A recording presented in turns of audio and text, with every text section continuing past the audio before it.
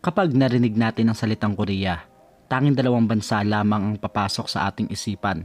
Ito ang South Korea at North Korea, ang mga bansang may pamumuhay sa magkaibang pamamaraan. Kilala ang North Korea sa pagiging konserbatibo nito at lakas militar. At ang South Korea ay kilala sa maunlad nitong ekonomiya. Pero bakit may dalawang Korea at ano ang pinagmulan nito? Yan ang alamin natin. Pero bago natin simulan, kung bago ka pa lang sa channel natin, pindutin mo na ang subscribe button, ilike ang video ito at i-click mo na rin ang notification bell para updated ka sa mga bagong video natin. Simulan na natin.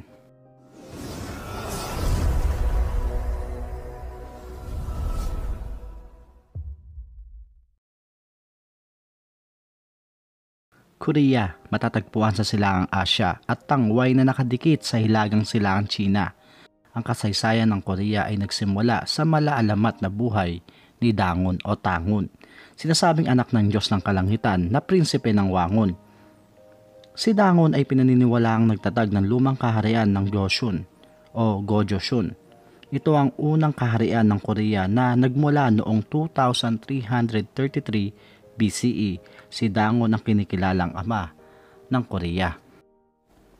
Go Joseon, ang lumang Joseon, isa sa hiwa-hiwalay na estado ng Korea na lumitaw sa panahon ng Bronze Era mula noong 3000 BCE hanggang 300 BC. Ito ang masasabing pinakamalakas na estado sa hiwa-hiwalay na kaharian. Ito ay tinatag ni Dangon mula sa isang maliit na estado hanggang ito ay naging ganap na isang kaharian Sinalakay ng Han Dynasty ng China ang Gojoseon noong 109 BCE. Dahil dito ay natalo at nasakop ng Han Dynasty ang Gojoseon. Dahil napasa ilalim ng China ang Gojoseon o Korea, ay naglagay ito ng apat na komandari. Ang komandari, ito yung teritoryo na pinamumunuan ng mga komandante.